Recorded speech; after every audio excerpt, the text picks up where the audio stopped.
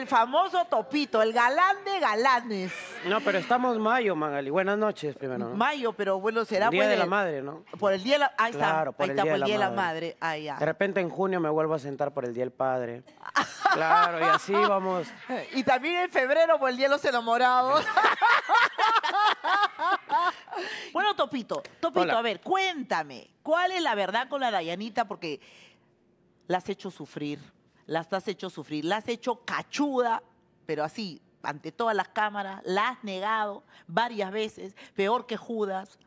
Y cuando eh, ustedes han tenido una relación, mira, y nos mentían los dos, ¿ah? porque debo decir que los dos nos han mentido, porque el- ustedes decían que ya no vivían juntos, que eran vecinos en el mismo edificio, y mentira, ahora la Dayanita vino y dijo, no, mentira, seguimos viviendo en mi casa.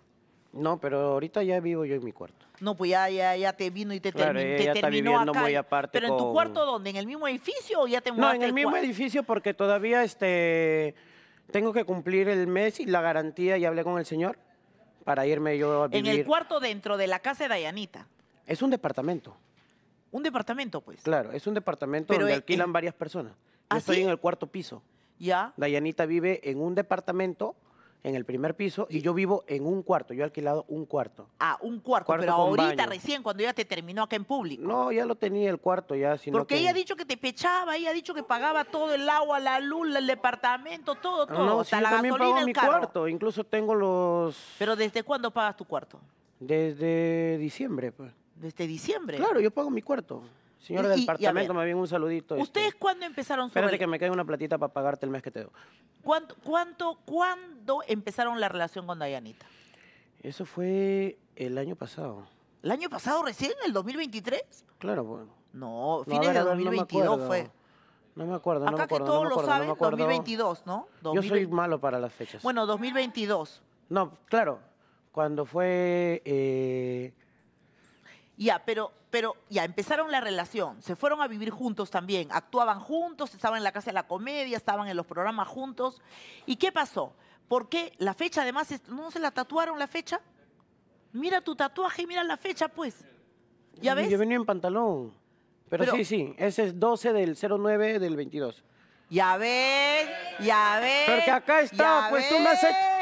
Es que tú me has hecho acordar, Ya pues, ves, más Magali. mentiroso. Acá ¿Pero qué me has hecho acordar? ve, acá me has hecho acordar. Ya ves, ahí está, tatuado, todavía lo tiene para. eso- ya no te puedes olvidar, pues si lo tienes tatuado. No, pero mañana me lo borro.